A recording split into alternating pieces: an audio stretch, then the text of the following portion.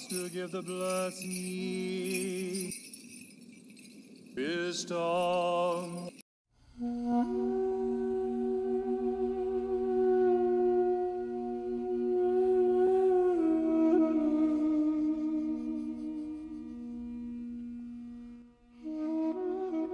What you are about to listen to is a podcast produced by Philokalia Ministries. Philokalia Ministries is offered to all free of charge. However, there are real and immediate needs associated with it.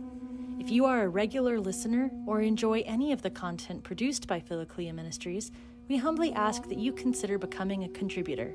You can learn more about our funding needs at www.philokaliaministries.org.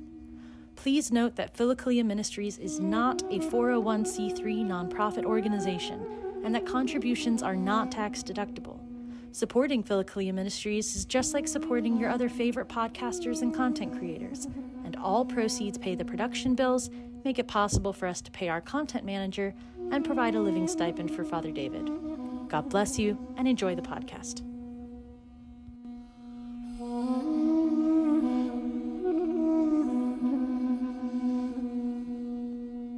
Lord Jesus Christ. Welcome back, everybody, to our study of the Ladder of Divine Ascent by St. John Climacus. And we are picking up again with step number 27 this week. And we are currently on page 226 with paragraph 32 at the very beginning of the page. St. John states, Why did the Holy Fathers of Tabennisi never have so many lights as those of the Scete. Those of you who can understand this, I cannot speak, or rather, I do not wish to. So, in a way, John is saying that there was a richness, a strength, a beauty to the community in Scete, precisely because they had those who were living in deep solitude. They had Hesychast, and their presence uh, among the community, although perhaps removed, living in a, in a cave somewhere deep in the desert, it's nonetheless strengthened the community as a whole. So to have those so fully given over to the solitude, living in this constancy of prayer, elevates the entire community, strengthens the whole community. Whereas the, the community that is mentioned here is uh, one of Pachomius's. So it was a Cenobite community and the focus was certainly uh, beautiful there as well, but more on obedience and uh, the common life. And uh, so not typically having those who are dedicated to the hesychastic life. And uh, it says something important for us in terms of the need for those who enter into this deep solitude for the life of the church. They might be few and far between uh, but nonetheless, their presence uh, becomes for us, uh, I think, a model, uh, again, of the angelic life, but also their very presence, the action of God's grace within them, through them, strengthens the church as a whole, and certainly their own communities.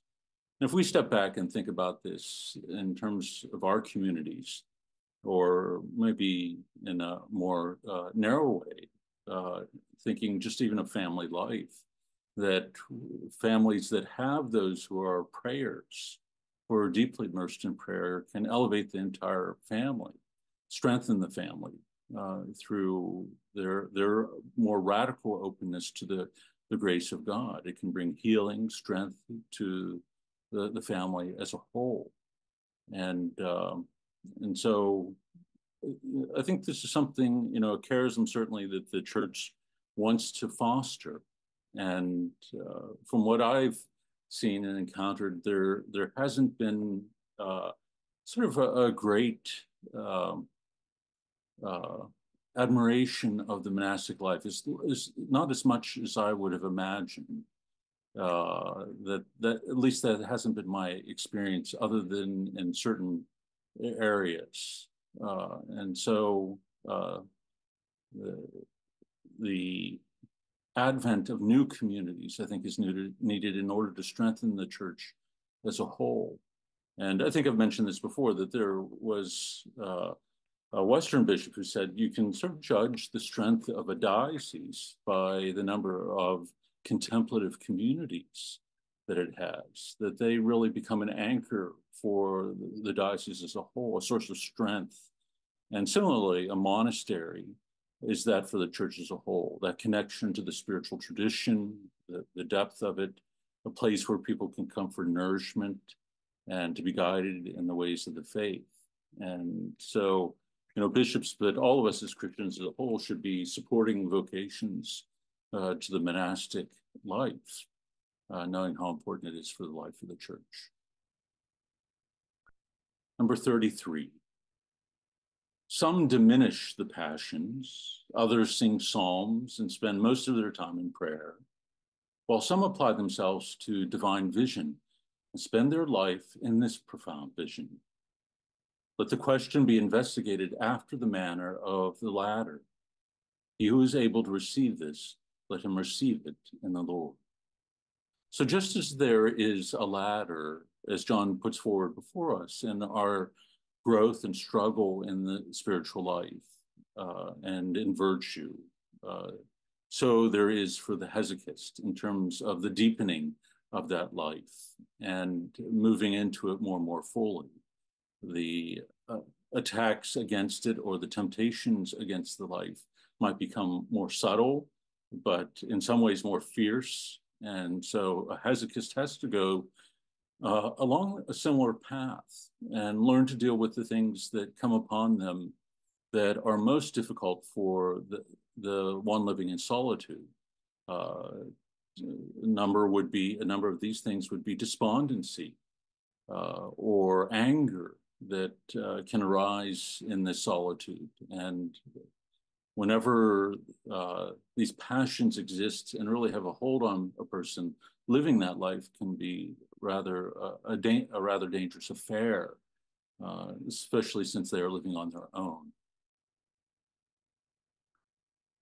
He goes on to say there are indolent souls living in monasteries, and by indulging in what nourishes their indolence, they come to complete ruin. But there are also souls who, through living with others, strip themselves of their indolence. And the same thing often occurs not only with the careless, but with the zealous too. So, you know, John jumps back to say that the life of community uh, has a way of pulling us out of our laziness and negligence, being surrounded by those who are pursuing the same path, breathing the same air, as it were, desiring the same ends, uh, can aid us when we begin to slip in our zeal uh, for the Lord and in our urgency in the sense of our love for Him and love for virtue. And, uh, and this even happens, John says, for those who are zealous in the spiritual life, that uh, being weakened or fatigued, they can fall into periods where they ease up on their discipline. So to have others around them uh, is always something that is a source of strength. And I think the reason that John is coming back to this is to make it clear to us that one must not uh, prematurely enter into the life of deep solitude without having purified the heart. And in fact, the life would be impossible uh, to live if, if one was still weighed down and burdened certainly by negligence or laziness, but uh, most certainly by uh, the, the, the you know more difficult passions to overcome. We can apply this same rule to stillness. Stillness has received many experienced men, but has rejected them by reason of their self rule and shown them to be lovers of pleasure Others she has taken, and by fear and the concern for the burden of their condemnation, has made them zealous and fervent. So, in the life of the, the hesychast, uh, the, the life itself can spew them out, as it were, if they, they grow lukewarm uh, in their practice. And one of the reasons for this is that they live an idiorhythmic life. They follow a role that is basically set by themselves and uh, that they must interiorize. And there is, again, a kind of danger with that because they have to have interiorized the obedience uh, that they were taught in humility within the common life in order to sustain that.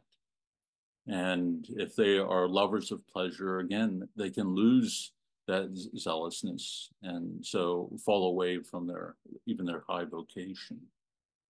Self-rule is always a dangerous thing in the spiritual life, uh, whether one lives in the world or in a monastery when we are guided by our own our own uh, desires, you know, even when it comes to the spiritual life, our own practices and devices, rather than uh, where we are directed by another. Number 36. He who is still troubled by bad temper and conceit, by hypocrisy and remembrance of wrongs, should never dare to set foot on the way of stillness, lest he become deranged and nothing else. But if anyone is clear of these, he will know what is best, and yet I think, for not perhaps not even he. So, you know, even when our conscience does not bother us, as Paul reminds us, uh, that we cannot presume our innocence and purity of heart that uh, while John tells us that you know when a person enters into this life, they can avoid these pitfalls, you know, bad temper, conceit, hypocrisy, the remembrance of people's wrongs. Uh, but he says that he, he, even perhaps of these who are most prepared uh, do not see all, you know, all that there is about what goes on within and the vestiges of passions that have not been addressed in, in the spiritual life. And so they might experience great hardship and have to be prepared to experience a kind of affliction uh, within the life of, of solitude that is unique to that life in, order that they might be purified and strengthened along that path. But strong words, John gives us here, that they will become deranged and nothing else.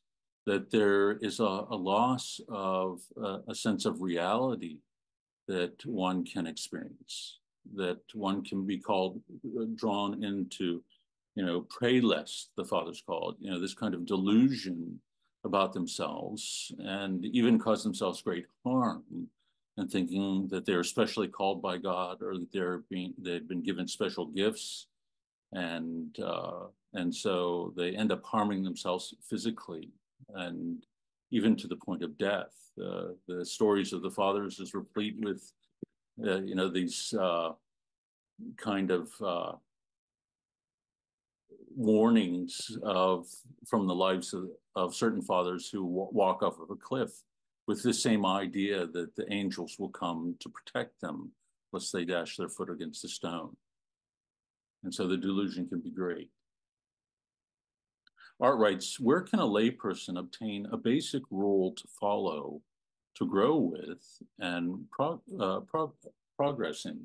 Uh, certainly in talking with one spiritual director, I think it can be uh, altered to fit one's life. But there, if there are a number of little works, the Melkites put out a book called, uh, what's the, the Publican's Prayer Book, and within it, uh, we are presented with certain prayers, uh, prayer rolls. So the, the prayer roll of Pachomius, in fact, is present within it as well, and not complicated and very simple. In fact, Pachomius felt that it was best uh, to have a role of life be simple and manageable, and that uh, so that one is is not simply pressing through particular prayers and devotions and uh, it's very straightforward. And so one could build on that, alter that with the aid, say, of one's confessor or spiritual director. Uh, and, you know, and taking into consideration one's, you know, particular vocation, the demands of their life, but beginning to create a role that allows uh, one to spend more and more time in prayer or to step away from the things that simply are distractions while yet attending to what is most important in their lives marriage, family, and so forth. But that would be a good place to begin. Uh, it's again, it's called the Publican's Prayer Book, and uh, but it can, you know, Pachomius's role can be found online easily as well. Um, so very simple and straightforward. Okay. Adam Page put, put up uh, the link for the Publican's Prayer Book. Let's see, number 37. Here are the signs, courses, and proofs of those who are practicing stillness in the right way. An unruffled mind. I think most of us would probably stop with that first one an unruffled mind, that an individual who's not undone even by the chaos around him or the spiritual attacks that are coming, that is able to remain in the peace of Christ, not thrown out of himself and uh, fragmented by anxiety uh, about what's going on in, in the world or around them.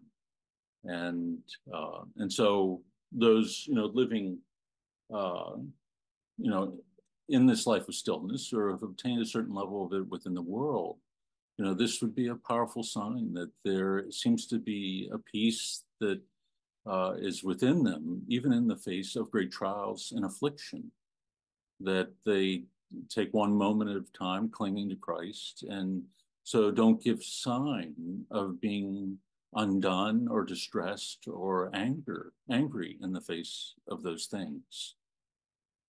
And in general, I think this is a good sign for all of us in terms of our, our general progress in the spiritual life as well. The more that we trust in the grace of God, His love, uh, the deeper our faith becomes, the less that we are uh, ruffled, as it were, by the circumstances of our daily life. Purified thought. So the habit of mind is this movement towards Christ, where one's uh, life becomes a sacrifice of prayer, praise, the, where one becomes prayer, that the, the joy and the sweetness of one's life is to be immersed in prayer. And so there isn't uh, this temptation towards distraction or to be pulled away by thoughts that are of a passionate nature that would draw us then into sinful imaginations and the like. Rapture towards the Lord. So oftentimes the, those who are immersed this deeply seem abstracted from the life around them, not aware of the things that really stand out for others as having a certain level of import or that creates again a kind of fear or takes hold of the imagination that one is so wrapped in the, the, beauty and the sweetness of the love of the Lord that that which is less than than than it is does not take hold uh, of the mind or the imagination. And so at times they will seem sort of uh, disconnected from popular uh, you know realities that often are so exciting to people and uh, it's interesting uh, i typically don't watch television except when i'm here at my mom at my mom's. But uh, the commercials are uh, a funny thing to see you know that there is this kind of energy. And one came on today, and it was about uh, uh, like the Olympics, and there was such an energy uh, in these 30 seconds of, of this commercial. I thought, goodness sake, the, the money, the attention, everything that went into uh, this that involves sports and the celebration of it as uh, as having you know uh, uh, this capacity to take hold of people's imagination and excite them. Uh, I think what we find in those who are so deeply immersed in the spiritual life is the opposite of that. That they find themselves, as John says, ra- raptured towards the Lord. That, that what takes hold of their mind, their heart, their imagination, every aspect of, of their being is the pursuit of the sweetness of being immersed fully within that relationship. And those other things that, you know, are often the focus of such great attention has no hold on them whatsoever. So they can be so out of touch, you know, in, in the sense of who, you know, the, the great musicians are of the day and what the popular music is. Recollection of eternal torments. So it's a curious thing, isn't it? That the purer one's heart becomes, the more sensitive the conscience becomes as well. And there is no such thing as a minor sin or insignificant sin, that anything that becomes an impediment to giving oneself over fully to the will of God uh, is set off in sharp relief for an individual whose heart's been purified in this way, as well as then the thought of standing before the all holy God, you know, giving an account for one's life and how one has embraced this extraordinary gift of his grace. So the remembrance of death is constantly before one's mind and not even in the sense of fearing it and even a kind of desire for it, but the acknowledge uh, acknowledgement of the fact that we one does have to uh, give account for how, how we live our lives. The urgency of death, sort of an interesting phrase, you know, that again, an urgent longing uh, draws us to, to, the desire to be with the Lord. And we hear Paul talk about this uh, to his communities that you know that there was this longing for him to be with the Lord, and didn't know which was better, you know, to leave this world in order that that great desire would be fulfilled, or to remain in order to be able to serve the Lord and serve those that have been placed in his, in his charge. But the, the greater longing was to set aside the things of this world, uh, to know, know the eternal embrace of God. Constant hunger for prayer. And so prayer is not something that one has to force oneself to do, that there becomes an insatiable hunger to be immersed in it because of the nourishment and the refreshment that it does bring. That uh, you know we talked about the little story that you know for the one who's sort of indolent, lazy, or negligent, you know the, they perk up and energy fills their hearts when they hear the the bell for the refectory ring, and uh, it's the opposite is true for the hesychast. You know that, that brings a kind of sadness that you know the the time of that deep prayer has come to an end, or as we've talked about that the the sun rises in the morning and uh, that time of deep prayer during vigils has come to an end. And there's all, often a kind of lament of that. Unsleeping vigilance.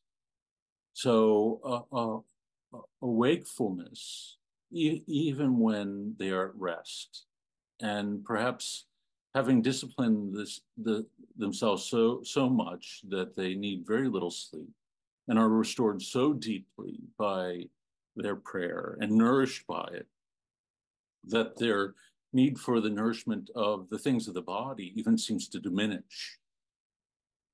And there's something certainly miraculous about this, but we hear this often about the saints and those who are deeply immersed in prayer and have grown in this in in, in virtue in such a deep way that we hear of some saints being nourished upon the Eucharist alone for a period of time, or you know, fasting for a long period of time. And uh, similarly, in us unsleeping vigilance, that there's not, you know, even when sleeping, the heart is awake. The heart has been so formed uh, as to be attentive to even the most subtle movements, uh, to the point that when even when one dreams, uh, that they find themselves if they are provoked in a dream by a thought that is of a sinful nature, they find themselves doing battle within the dream against the provocation, even though you know they aren't conscious of it or willing it. Wasting away of lust. So, you know, the appetite that has such, such a powerful pull upon us as, as human beings.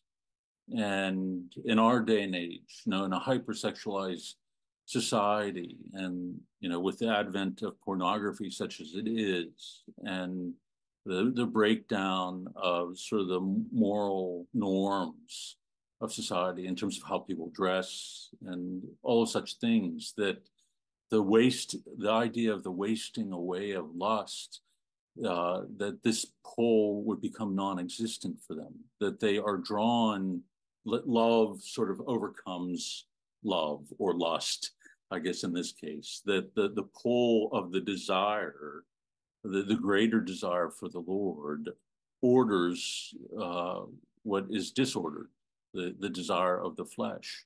And so all the energy that surrounded that it, it's almost like um, what's the word for it?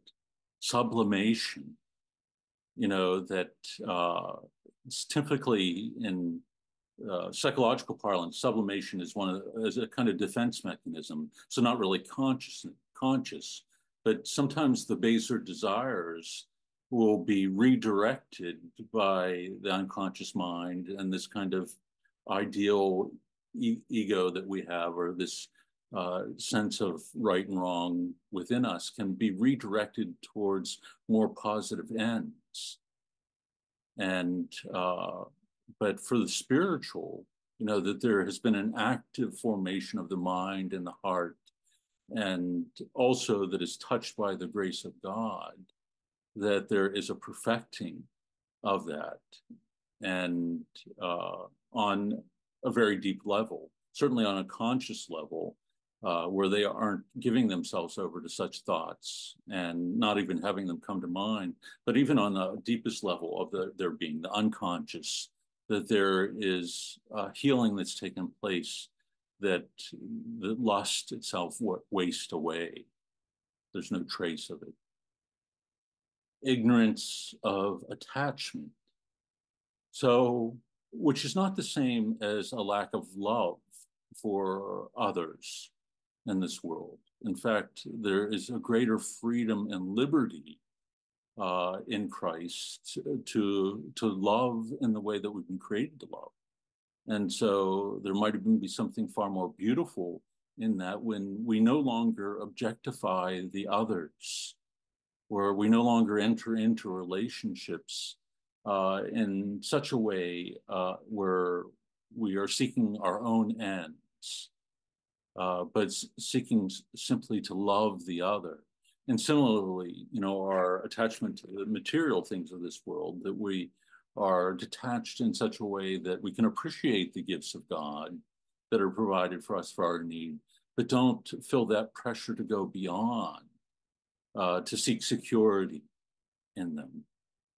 And so a kind of perfect uh, detachment here. Death to the world.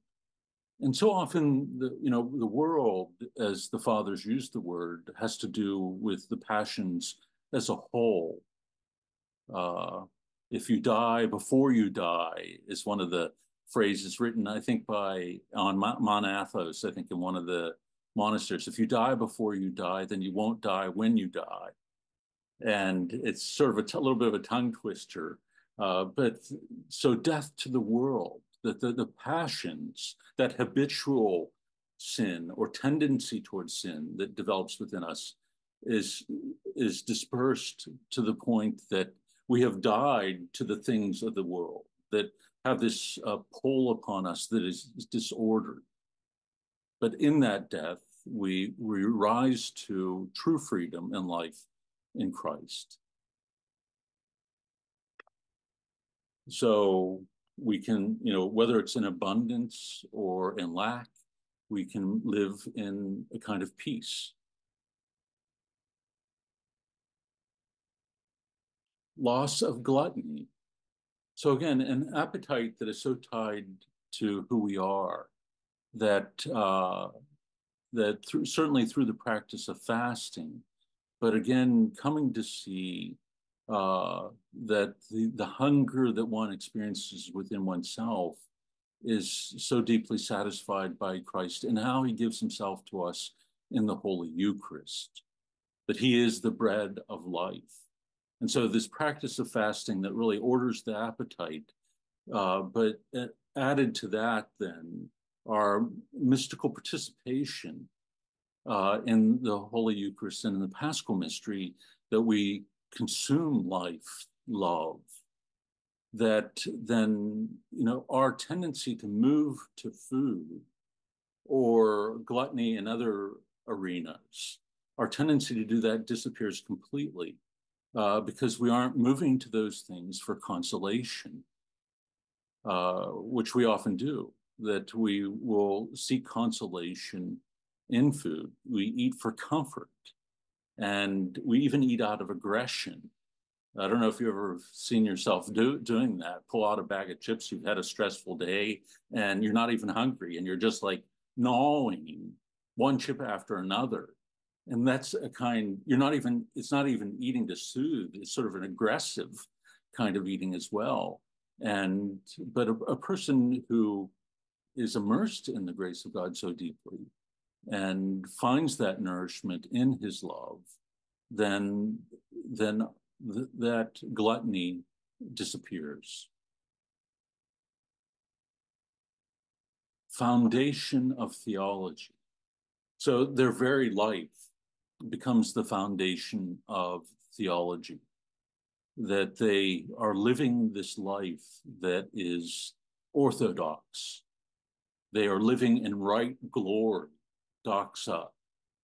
And so, in every way, they have immersed themselves uh, in the life of grace and so been transformed that they become theology. Uh, I'll have to post an article about this. I can't remember uh, the the elder who wrote about it, but this is one of the goals of the spiritual life to become theology. That our very being, the way that we live our lives, speaks of God and what has been revealed to us not uh, so much in words, but in the way that uh, and the manner in which we live our life and engage others. So this life that has been so purified then becomes the very foundation of that reality. That their silence speaks. And I think this takes us back to the first paragraph or the first or second paragraph where he talks about these uh, hesychasts as being a source of strength for their community. They become a foundation upon which the community is built and a source of nourishment in terms of this experiential knowledge of God. And what a blessing that would be for a community to have its elders. This is a hard thing in our day because we typically, not that we don't have our elders, but elders aren't typically held in great respect. Uh, I think I mentioned to you sort of on a sad note once uh, a friar, a Franciscan friar, who, you know, had lived his life, uh, you know, as a Franciscan for so many years and was a holy soul. And he had taught at one of the universities, but eventually went back and was living with one of his communities and uh, involved in formation. And, you know, finding himself being argued with by, you know, one of the novice uh, friars, and at one point being led to ask him, "Well, doesn't you know my life, the experience of my life, hold any weight? You know, in terms of the things that I'm saying?" And the person basically said no to him. And it was sort of shocking, especially in the context of religious life. But uh, we have lost this sense, I think, of the blessing that elders are or can be or need to be for religious communities, but within families, you know, the breakdown of the families where we often don't have that extended family of grandparents, aunt and uncles who have this long experience that uh, that can uh, bring to us a kind of wisdom about life and the trials that we undergo. And similarly, I think in religious communities, either they might be absent or even in a sense driven out sometimes of their communities because the vision uh, of, uh, of a community can alter so greatly over the course of time. If, again, there's this kind of self role rather than humility and allowing one and docility and allowing oneself to be guided and taught about the, the realities of the common life, obedience and humility. You know, if we live in a culture where, you know, there is a kind of uh, a growth and prevalence of uh, narcissism, a focus upon self, uh, and again, this kind of self role that John is, is talking about at times, that it becomes very difficult to have formation that is fruitful because there's such a level of work that needs to be done there. We can't count on the fact that individuals are going to be raised within a family with these kinds of sensibilities, uh, both in regards to how they engage elders, but also how they uh, think about the, the, spiritual life, or that they've been formed in the life of virtue at all, or have an understanding of the faith.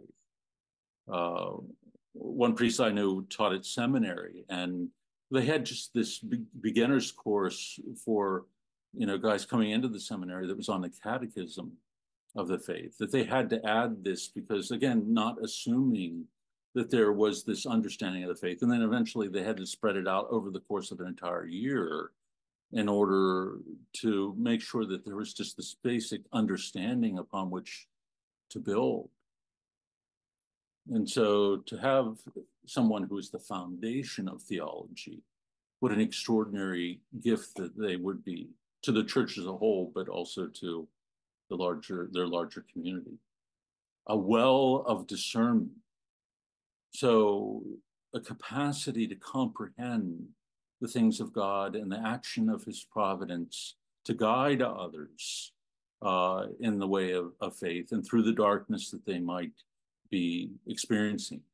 But again, they have this experiential knowledge of God. And they become theology in such a way that they're able to see this truth and help others to comprehend it. A truce accompanied by tears.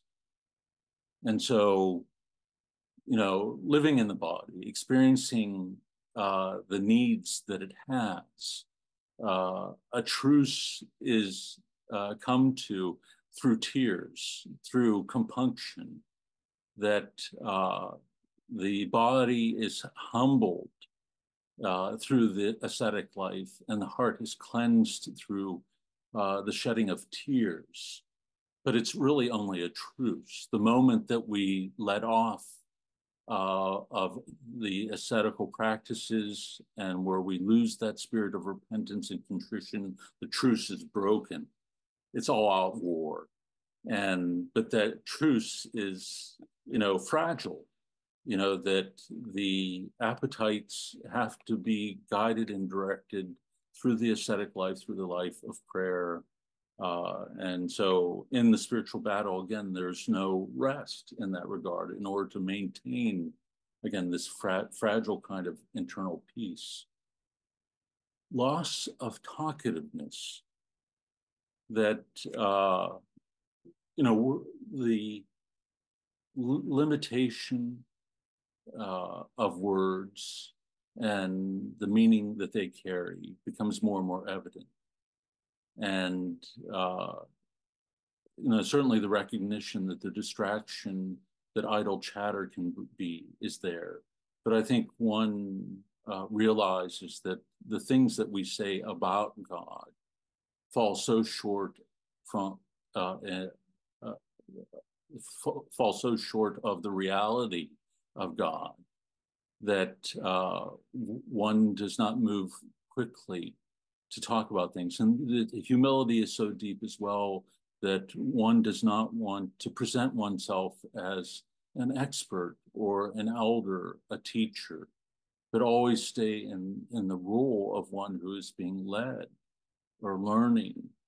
And uh, no matter how old we are, that we would stand before others with this kind uh, of attitude.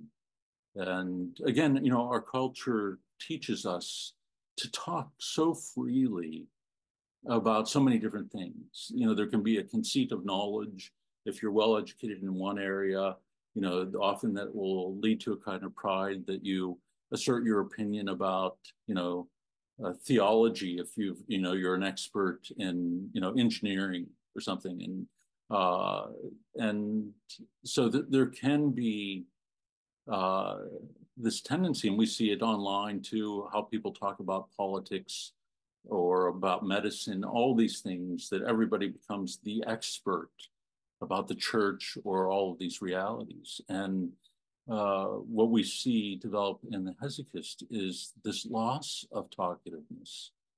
You know, a realization that most often it leads to dissipation and that we can become a source of distraction for others and that the silence uh, in which we live and bear ourselves can speak more deeply than our words. If that silence is something that is filled with the love of God, where we are listening to the word that He speaks to us, then our very being again becomes something that communicates the, the fullness of the gospel to others. So it's the lived life, the experience that is most important.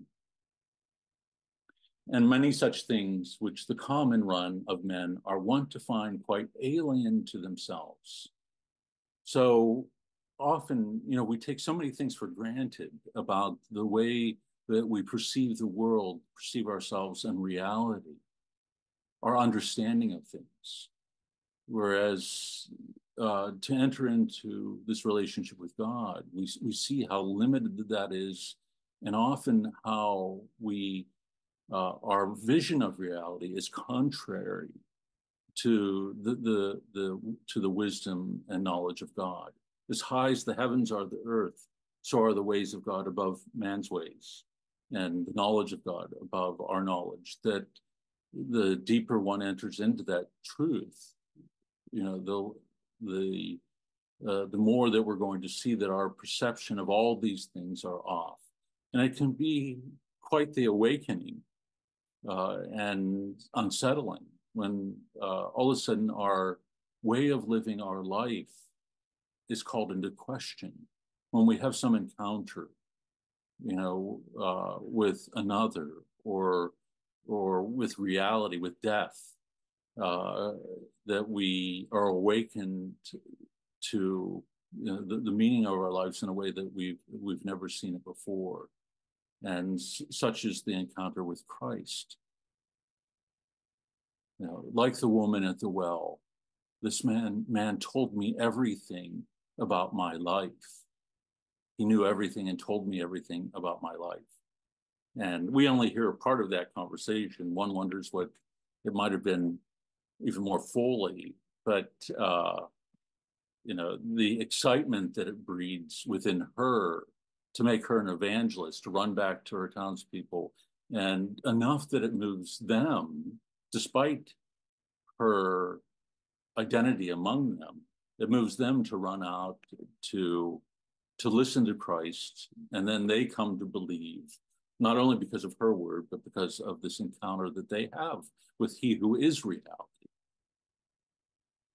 And sometimes they can be incredibly uncomfortable. You know, the where uh, Jesus cast out demons, or when he cast them into the swine, and the swine run into the sea and are drowned. The townspeople begged Jesus to leave them. That you know they can be more comfortable with the demonic in their presence than with the living God, who has this power to to drive the demons out. It's almost like that the presence of that life, that power becomes a threat to them. Father Marty writes, being with people who push my buttons seems to me to be one of God's most common ways of showing me what he wants to heal me. Metropolitan Vlachos, with his priest in mind, once wrote a book on the healing found in the Desert Fathers. He admitted that they had a good academic study of theology, but he lamented that they did not know how to lead their flocks into healing because they had not gone down the path of their own healing. His remarks in the book was theology is the fruit of man's healing. Hierotheos Vlachos is an extraordinary writer and uh, was really the first one for me as well that sort of opened up uh, a deeper understanding of, of, of the fathers in the sense of of this understanding of healing and also of, of theology. So if you have an, an opportunity to read, he's, he's written number of works, but Orthodox psychotherapy is one of them. And so Orthodox, the healing of the soul that comes through living the spiritual life fully. And he's right. You know, how can one bring healing or be a source of healing and guidance to others if one is has not been healed himself or herself?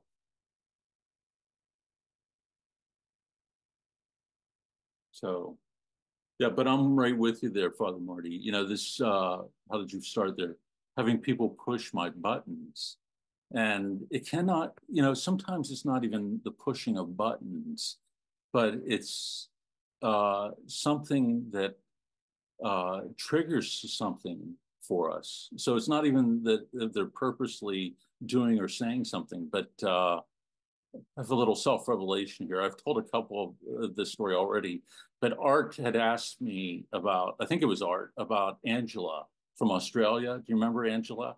And so I wrote her and, you know, I said, you know, how have you been doing? You know, the group asked about you and we know that you were traveling, you had gone on pilgrimage. And uh, and so we were wondering, you know, if you're thinking about coming to, back to the group at some point. And, you know, as often happens when you're on like Facebook or Messenger, if, if you hit an emoji, sometimes you could hit the wrong emoji. And all the response I got back at first was an angry face emoji to what I had written her. And immediately I was thrown out of myself. I began to wonder, oh my gosh, you know, was there something said within the groups that made her angry? or was she not doing well and that I had taken so long and I'd gone back to look at my last communication with her and it had been over a year. And so my thoughts began to wonder, well, you know, it took you a year to write me this, you know, you, I, all these thoughts began to write, run through my mind. And for a whole day, it took hold of me. And uh, until she wrote back a message telling me all that was going on, that she was teaching RCIA a Bible study, that she had hoped to incorporate the fathers into this. And but her plan is she's making another trip to the UK and she's going to be gone for a couple months. But her plan after that is to join us again and how much she misses the groups. So it was completely, it was, it was uh, moved by something that you know, wasn't a, a slip of the finger, but the demonic provocation we see like lightning, how swiftly that moves. You know, what did I fail to do? Is this person angry? You know, how could things switch so quickly? You know, when she was such a major part of the group and contributed now to have, you know, this anger directed towards me. And uh, and you know i've had similar experiences to that where that was the truth and hard to understand uh, and but it was enough then to become a moment of temptation to trigger something in me whether it was vainglory you know of being overly worried about how somebody was re reacting to me viewing me. But uh, so what, what father marty says here uh, people pushing my buttons that we might think that we are free of these things, that we aren't ruffled by them. And then something like this, so small, can happen where it's deeply humbling, where you see yourself undone. You know, pride rideth before the fall. All of a sudden, you're on the ground uh, and you've been thrown by the horse because you, you know, felt that you were free uh, of of these kinds of things and this one is wasn't even based in reality, which is even even more humbling about it. Wren writes, that day I might have gotten a message from Father Charbel saying he was going to into permanent seclusion. Yes, that was one of my thoughts. It was like, I think I should just, I think I should go to, you know, to the monastery or I should stop doing podcasts, that I should just, uh, you know, immerse myself in silence. Uh, and so it can show very quickly the, the state of our mind and how changeable you know, you'll love that first homily of Isaac the Syrian when he gets to it, because he talks about this aberration of mind, the inconstancy of our mind, the changeableness of our mind.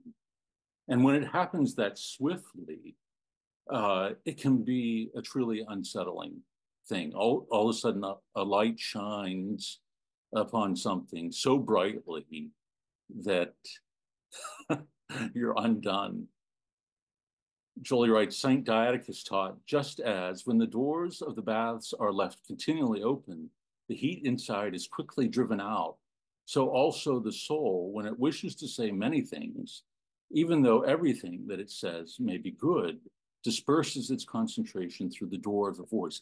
I remember that quote, and that's beautiful, that if we are constantly open the furnace door, we are allowing the heat to escape and so similarly, when we're opening our mouth and we are engaged in talkativeness and and certainly talking about things that maybe are of a more intimate nature that we can dissipate you know our fervor for the lord or certain gains in the spiritual life by doing so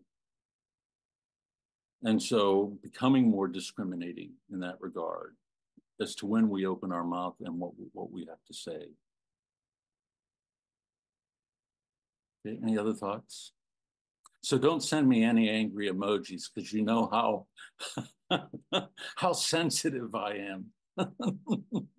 you'll you'll wreck me. Okay, number 38. And here are the signs of those who are practicing stillness in the wrong way dearth of spiritual wealth. So a lack of fruit in the spiritual life that, you know, what one sees is perhaps an empty asceticism, uh, but uh, a silence that betrays a lack of joy, a lack of, of peace. That would be that seclusion that someone runs to when their feelings have been hurt. There would be a dearth of spiritual fruit in that uh, increase of anger. So, you know, there's nothing, you know, in silence, uh, it becomes very difficult to blame others and to dissipate the anger that we might have. And uh, and so we can find ourselves becoming a- angry at inanimate objects, or creating things in our mind, in our imagination to become angry, to magnify things in such a way uh, that we our hearts are stirred to a greater anger, or things from imagination and memory come forward to present themselves for us to become angry about them again. And so we find ourselves ruminating. So a person living in silence, you would think, oh, how blissful that will be. People often will post these images of cabins and say, would, would you live here without internet and everything for a million dollars, you know, for a whole year? And everybody says, oh, ab- absolutely, I would do that. And, you know, I think for the majority of people, after a week, they, they would go nuts in such an environment because they would stand exposed and find their mind running after all these things because we take ourselves wherever we go.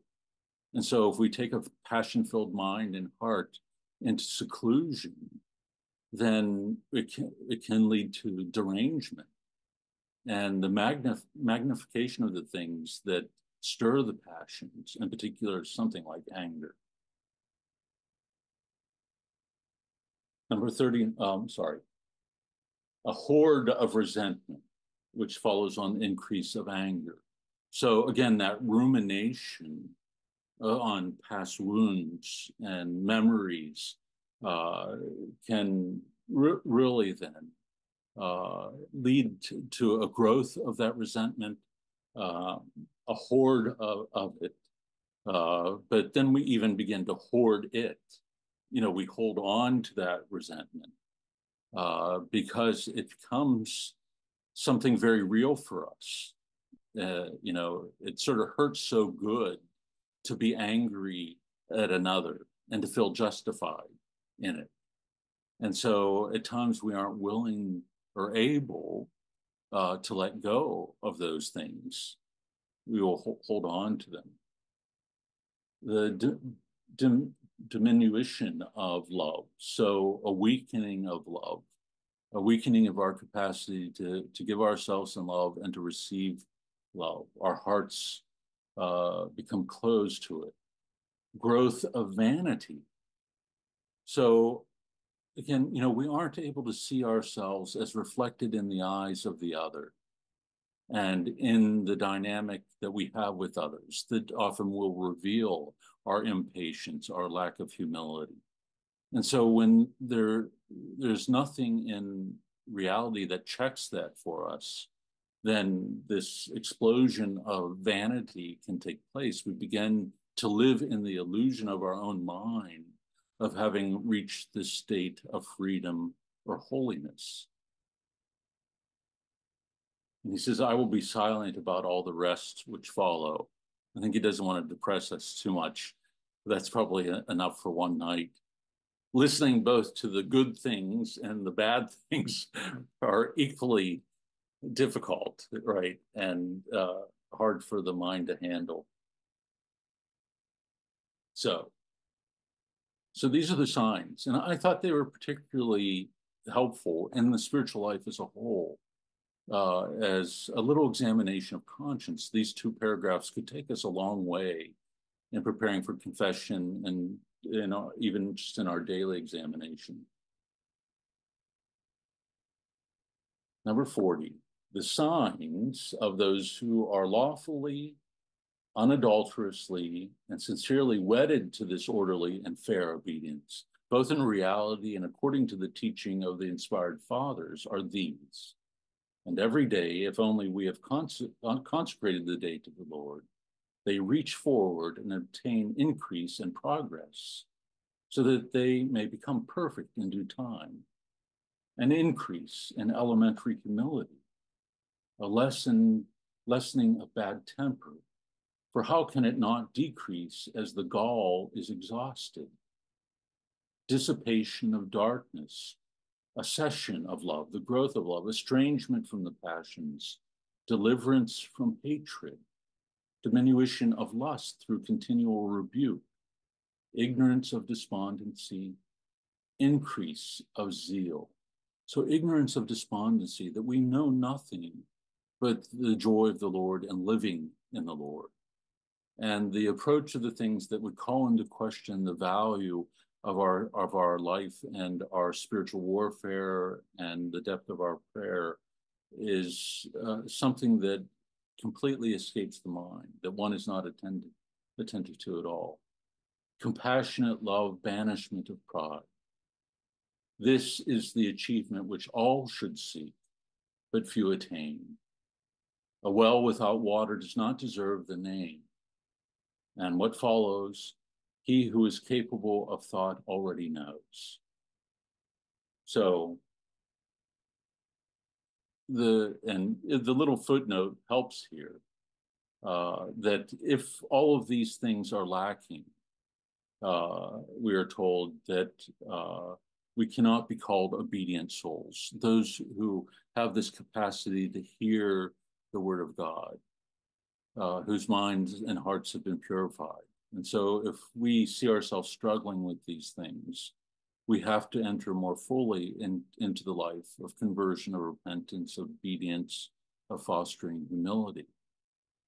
And again, not seek to too swiftly or even at all might be the more sanctifying reality for us uh, to even at all to pursue the, the life of solitude. Ours might always to be to be, be to live in community, even though at times we have you know, a kind of longing within our heart for that solitude, the will of God might be for us to live in certain circumstances that really do shape the mind and the heart and free us from these passions. And we should not lament that. You know, I think we we see that as have to see that as trusting in the providence of God, that He'll do everything and draw us along the path that is for our sanctification.